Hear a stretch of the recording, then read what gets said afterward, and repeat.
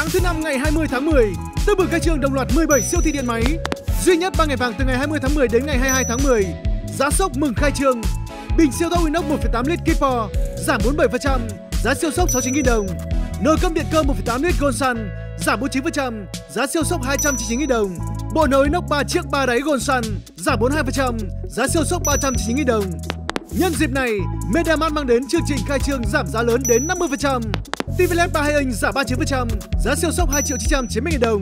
Smart TV 42 inch giảm 25%, giá sốc 5 triệu 990 000 đồng. Smart TV 4K 55 inch giảm 26%, giá sốc 8 triệu 890 000 đồng. Tủ lạnh hai cánh Aqua 143 lít giảm 17%, giá cực sốc 4 triệu 390 000 đồng.